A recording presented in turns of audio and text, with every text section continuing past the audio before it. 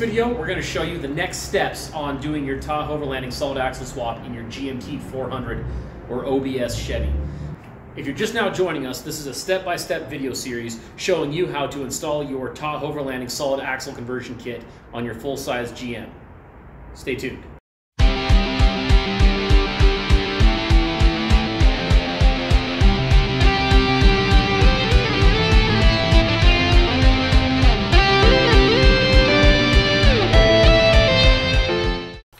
All right, the solid axle conversion isn't done, but we're a pretty far along step. What that is to start mocking everything up and putting it under, under its own weight. So what we've done here is we've removed the Dodge brake rotor, the Dodge brake caliper. You can see here the uh, brake caliper mounting bolts. That's how you know this is the right year of knuckle for the Tahoe overlanding axle swap. It needs to mount the caliper through these two large bolts. So that's, if you're ever looking at a knuckle, you can't uh, determine if it's a 2000 or 2001 like you need. This is how you can tell. So see the axle shaft here? It's the same spline of axle shaft as the GM hubs, and it's the same bolt pattern. So I have leftover parts that I use for mock-up, just save the brand new stuff for the final assembly. So this right here is a GMT 900 hub. This is the most ideal hub to use. So this is a GMT 400 we're doing the swap on, but the 900 is a better hub. So uh, you can use any of them, they all work, but I prefer to use the 900. When you do use a 900 hub, you have to switch the um, ABS sensor out, take that bolt out and switch the ABS sensor out. So um, sometime, if you're gonna do that, just make sure you switch your ABS sensor so your uh, system recognizes it. But you can see here,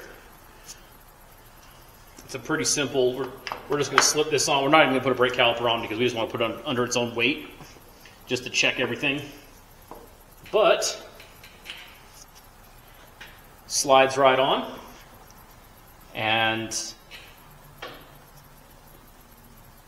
you have to use the Dodge hub bolt, not the Chevy hub bolt. The Chevy hub bolt is too short. So thread these on.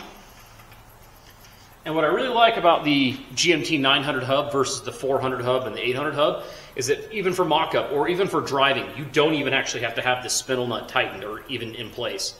So what I'm going to do for this test is I'm not even going to tighten the spindle nut. I'm going to put a nut on because it will hold the weight of the vehicle and be fine the way that it's built without having the hub held together by the spindle nut. This being a GMT 400, you will have to use GMT 800 brake rotors, but that's better because they are a larger rotor than the GMT 400. So uh, just know that if you're doing this on a GMT 400, you'll need to use GMT 800 brake rotors. All right, let's talk death wobble. Does the Tahoe overlanding axle swap death wobble? Or how many times do I hear, I don't want to get death wobble? You won't. We do use a Dodge axle, and Dodges do get death wobble, but it's not because of the axle the things that cause death wobble are not being transferred over to the um, truck when you do a Tahoe overlanding axle swap. The steering is different. It's a different geometry of steering. That's why we have to cut off the sway bar mounts because the steering is in a different relationship to the axle than it is on a Dodge. And Dodge suspension components like their um, and Dodge suspension components like the control arms have those soft rubber bushings and uh, they are they're not the same kind of joints. They're also a short arm and a parallel four link. We're using a long arm with a radius arm. There is literally nothing in common on this axle, and no one is getting death wobble on these because you're not you don't have a potential for it. And I get asked, can I use the, the T style steering on my truck? Let me show you why we supply the Y steering. First things first, the T steering is unnecessary. All of the things that that solves on a Dodge truck are not present on a Chevy. It's a different truck. It's a different arm geometry. It's a different steering geometry.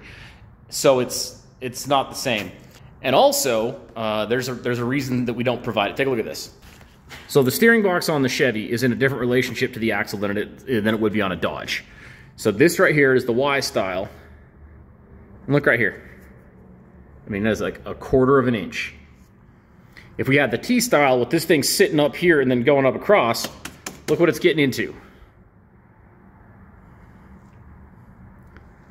And that's also why we run that size of steering link because we have a really tight space to fit all of these links into.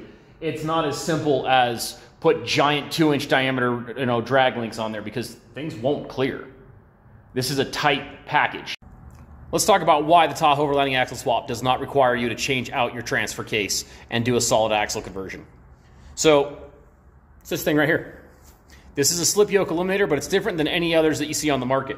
So the factory transfer cases in these full-size Chevys cannot have the back half of the transfer case taken off while the transfer case is in the vehicle. So not only do you need a slip yoke eliminator, but you also need one that can be installed from the outside because you don't want to have to tear the whole transfer case out of the vehicle just to install it. So we've got this. Big splined end. That end goes right there where the uh, factory front drive shaft went. So you put the big fat, big long splined end in.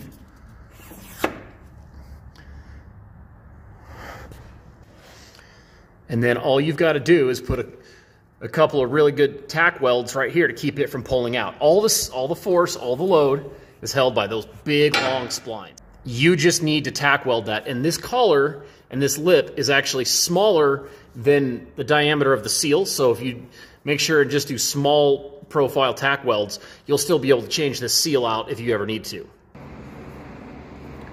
We got a new output shaft seal right here and you'll note that it slides right over the welds without any issue. Okay, so now it's U-joint and drive shaft. So the axle we use, which is a 2000 or 2001 Dodge Ram Dana 44, usually comes with a 1330 U-joint right here. And the drive shafts that work the best on these Chevys is uh, a 1310 drive shaft. Most of the time you can actually pick them up from a wrecking yard. So you'll need to use a U-joint at this end a 5-134X U-joint. And then if you don't end up saving from the wrecking yard from with the axle, the bolts and the straps that hold this on, that's no big deal. You just need to get a Spicer part number 2-70-18X. And the reason why we do a 1310 is on the exhaust is actually removed, but usually the exhaust and the catalytic converter is right here, and a 1310 drive shaft is just usually a hair smaller and it clears a lot better.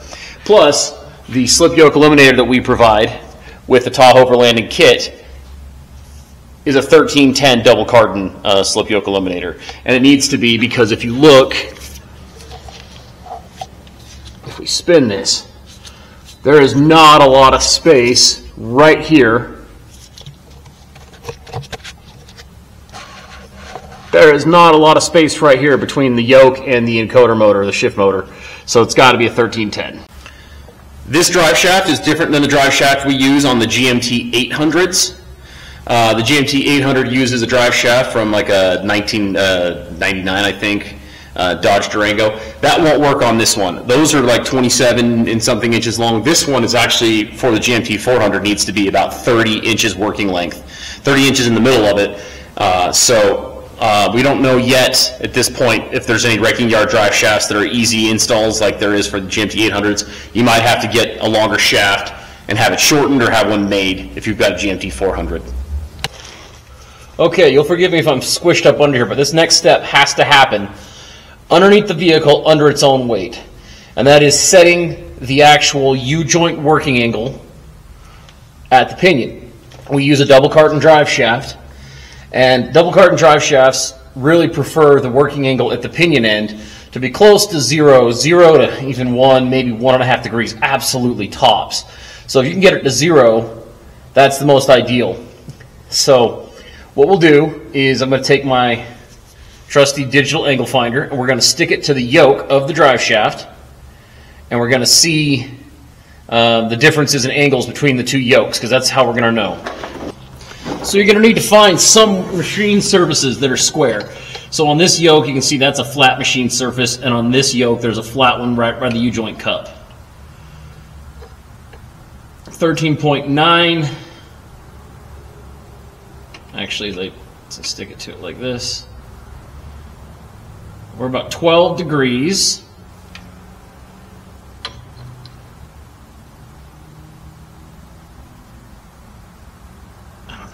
11 degrees. So let's see if we can shallow that up a little bit.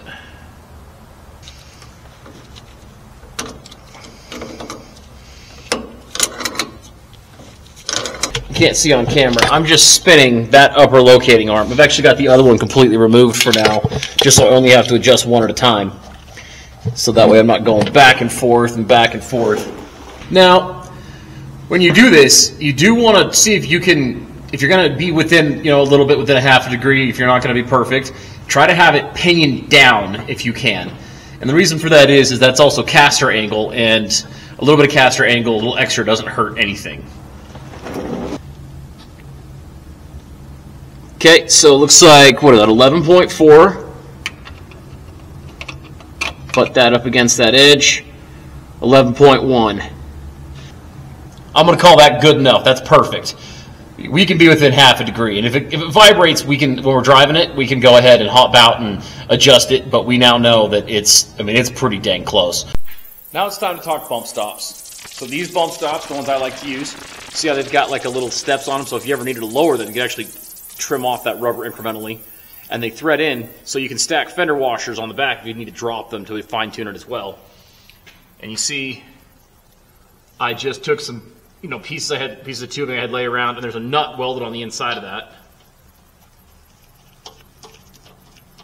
We can thread that on and make the bump stops be installed. And notice how they're welded on at the slope, so they're level, so that it's contacting, you know, square like this, because it was at the angle of the frame, it might put stress on the stud. So I try to make them square to the um, travel of the, of the suspension rather than square to the slope of the frame. It's time to make some brake lines. Let's take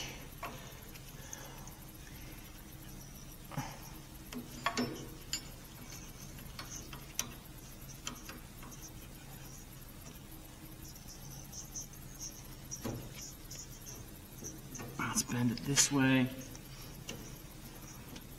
bend it that way, and then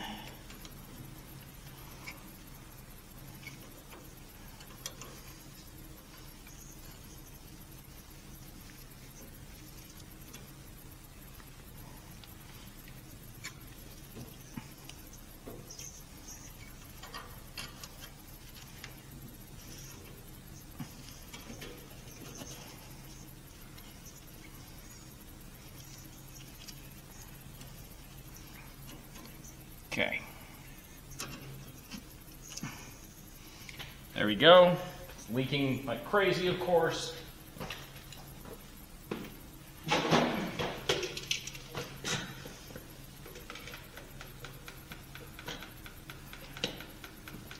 Losing fluid.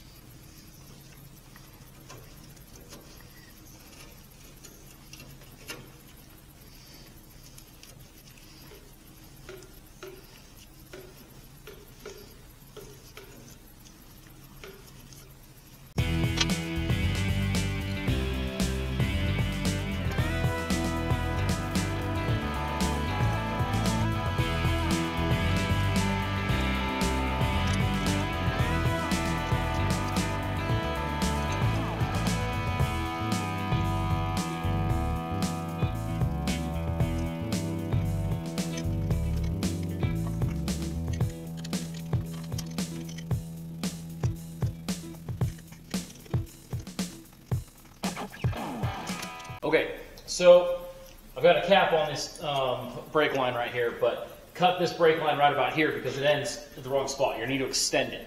So what we'll do is we'll extend it. What I like to do is take a piece of brake line from the auto parts store and use an existing flare, so you only have to do one, and you'll bend it up and over to tie into this one.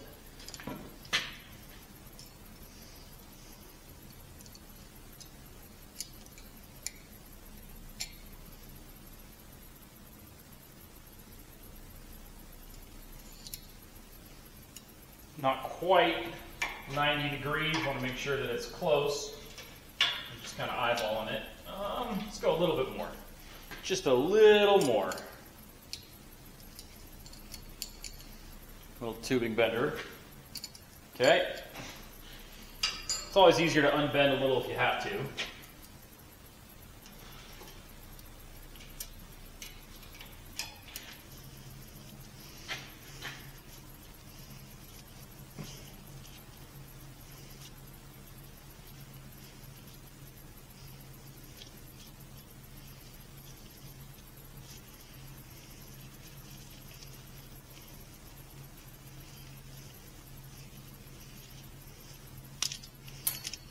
Okay, now I got to flare that. So that's a coupler, see? And just put the fittings on and then put a coupler.